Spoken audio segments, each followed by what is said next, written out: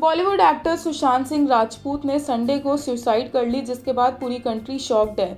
वहीं बॉलीवुड सेलेब्स भी ट्वीट कर अपना दुख जता रहे हैं। जहाँ ज़्यादातर एक्टर्स ने ट्वीट किया, वहीं रिया चक्रवर्ती, कृति सेनोन और श्रद्धा कपूर सुशांत को अलविदा कहने खुद पहुँचे, जिस वजह से तीनों एक्ट्रेसेस को नेटिजन्स काफ़ी प्रेस कर रहे हैं। पर इससे पहले नेटिजन्स ने इन तीनों एक्ट्रेसेस को काफ़ी बैकलैश भी दिया, क्योंकि इन तीनों एक्ट्रेसेस ने सोशल मीडिया पर कुछ पोस्ट नहीं किया था, पर जब इन्हें फ्यूनरल पर देखा गया तो नेटिजन्स शांत हो गए और उन्होंने अपनी ओपिनियन बदल ली। But on the other hand Alia Bhatt और करण जौहर जैसे सेलेब्स को स्लैम किया जा रहा है। इसी के साथ नेपोटिज्म की बहस भी एक बार फिर छिड़ चुकी है।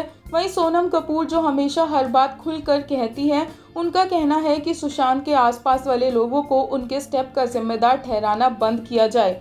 सोनम ने एक ट्वीट में लिखा blaming a girlfriend ex girlfriend family colleagues for someone's death is ignorant and fucking mean spirited